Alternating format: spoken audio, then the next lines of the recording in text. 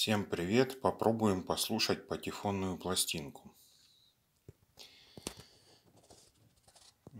У них 78 скорость. И то не факт, поэтому во всех патефонах был регулятор скорости плавный.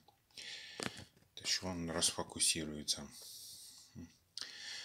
Конечно, недостатки такой скорости это высокий шум много вот этих характерных помех пластиночных. Плюс на пластинку влезает совсем немного информации. Вот одна песня на одну сторону, на такую вот пластинку. Ну, естественно, качество звука хуже. Плюс они быстро, как говорится, заезжаются. Потому что вот этот старый винил, он очень хрупкий, хоть и толстый. Вот когда я мыл эту пластинку, э, ну другую, я чуть-чуть нажал сильнее, она лопнула пополам. Ну, то есть, э, несмотря на кучу недостатков, все-таки аудиотехника развивалась. И надо было пройти этот этап. Э, ну, у нас проигрыватель всескоростной, поэтому мы можем послушать сейчас эту пластиночку.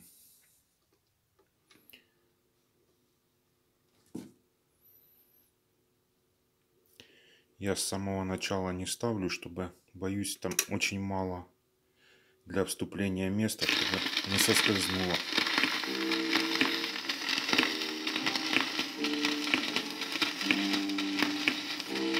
На пластинке написано 5 рублей 70 копеек. Это для Советского Союза.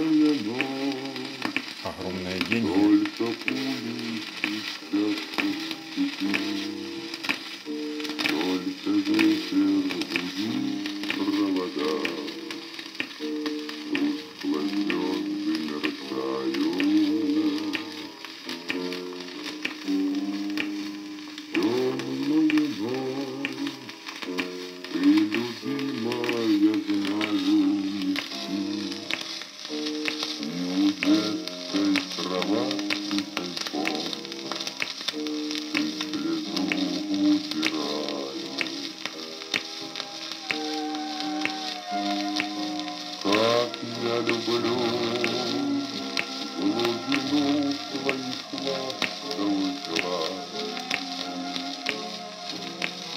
Как я хочу к ним прижаться теперь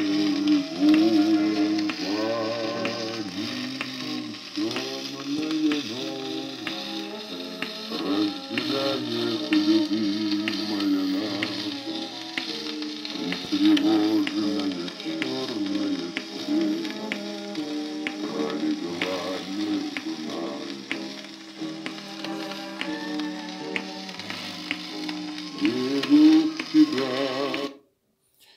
Ну думаю, достаточно. На самом деле 5,70 это, конечно, были огромные деньги в Советском Союзе, на которые целый день гулять можно было. Но имеется в виду старые рубли, которые еще большого формата такого были. Это значит на новые, ну, на новые советские 57 копеек. Вот. Спасибо за просмотр. Всем пока.